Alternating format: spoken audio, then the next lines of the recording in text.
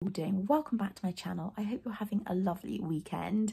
I am currently waiting out in the tack room because it's a little bit wet outside. It's been very April showers today here. It's not quite April, it's nearly, um, but we have had all weathers. we've had blue skies, sunshine, we've had cold winds, we've had hail, we've had rain, we've had thunder. We had a massive crash of thunder earlier. Um, yeah, and it comes around so quickly. Like one minute it's blue skies and you're like, perfect, going right. And then 10 minutes later, it's pelting and you're down. You're like, hmm, okay, wait a second.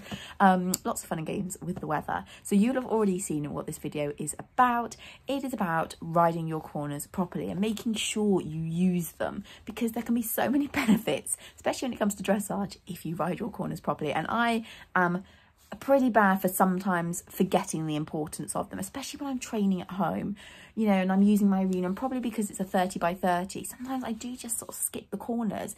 And by doing that, I kind of get out of the practice of making sure I use them properly, and the horse gets out of practice as well. So I've got about four exercises which can really help get your horse used to going into the corners more and just kind of remind you, fine tune yourself to using your corners better.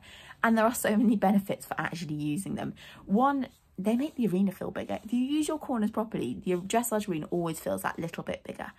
You should use them to help you set up for the next movement, especially if you're doing something like a medium trot across the diagonal or a medium canter down the long side. Using your corner efficiently before that movement comes up is going to help you gain those extra marks.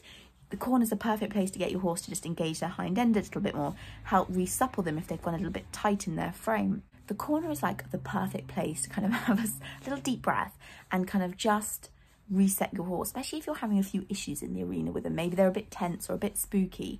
I find you'd be surprised how much you can get done in a corner in a dressage test. So I'm going to show you these exercises. Like I say, there are so many benefits to riding your corners properly. They're obviously going to help you be more accurate in your dressage test as well.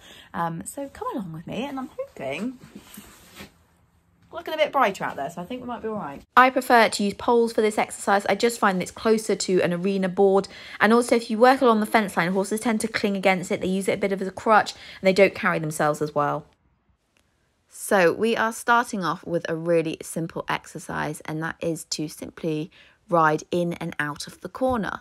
Now, it seems a real basic one, I know, but actually just spending the time teaching your horse to walk in and out of the corner, to listen, to get confident with doing this is really important. And when this becomes a regular in your training, your horse just accepts that this is what happens. And then when you come to doing a dressage test, they're so used to going in and out of their corners all the time in training that it becomes a habit and you barely have to think about it. So it's good for horse and rider, I would say. Now, I like adding transitions in as well because if your horse is easily distracted or perhaps doesn't really get into the corner very well, I think adding a transition in can just give them something to focus on, get them listening to you, but also help you get them into the corner a little bit more. And I can't tell you how doing something as simple as just riding in and out of the corner really improves your horse's rhythm. It really gets them to step under a little bit more as they come through that corner, especially with the inside hind leg. It's a great way to add a half halt. This happens quite a lot with the camera falling over. It was a really windy day and then Coop just did a bit of his own thing trotting around the arena. He does that quite often. Next exercise was to do a 10 metre circle in the corner. Now this often appears in dressage tests from novice upwards. So it's a good thing to practice anyway. But the good thing about doing it in the corner is it's helping you create the right shape for your horse when they're going through the corner. Now, obviously, you won't go as deep when you're on a 10 meter circle, but you're still working on your horse, being used to getting a little bit more into the corner, the right shape, and it's great for their suppleness, you can again do this in walk, trot or canter. It's also a great way to make remind the rider to use their outside leg and to make sure that the horse doesn't drift through that outside shoulder which is so easily done. So again I found this was a really good exercise to get me a little thinking a little bit quicker and making sure that I wasn't sort of blocking too much with the inside hand that I was giving with the outside rein.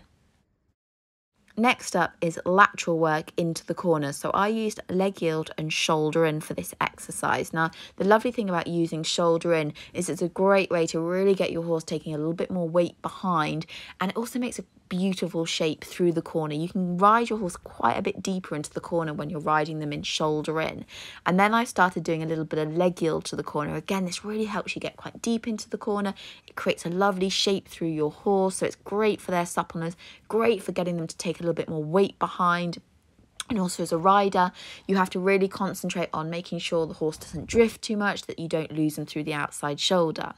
The next exercise was probably my favourite out of all of them, and this was the one that worked the best for Corporal. If your horse does have a habit of falling in when you're riding through the corner, try riding around the outside of your corner poles. This way, they cannot fall in, and it is an amazing exercise for really getting your horse to really sit on their hindquarters, really step through and under. The amount of self carriage Corporal, there goes my phone again. I did say it happened a lot through this exercise. The amount of self carriage Corporal got by just doing this simple exercise was crazy.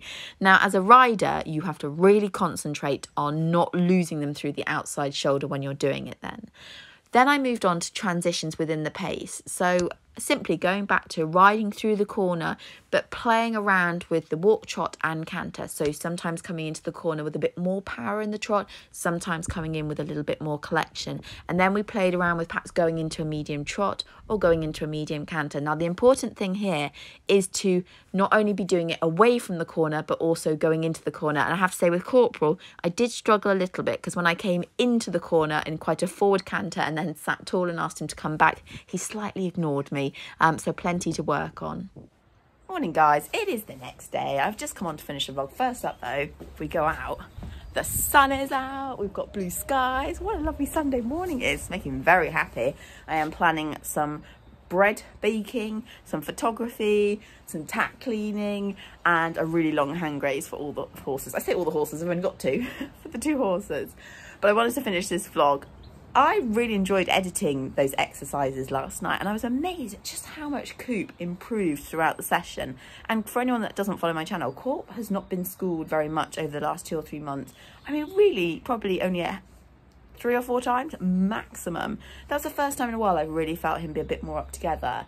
And such a simple exercise of just working on your corners had such a massive impact in the way he went and he felt brilliant after I came away so happy and I thought gosh just reminds me that, you know, the simple basic parts of your schooling still need you to focus on it. And, you know, it doesn't matter what level you're at.